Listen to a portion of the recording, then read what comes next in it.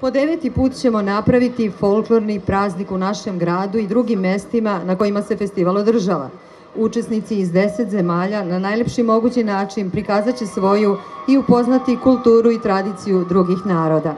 Još jednom ćemo pokazati da je jezik igre i pesme univerzalan i da folklor briše sve razlike i granice.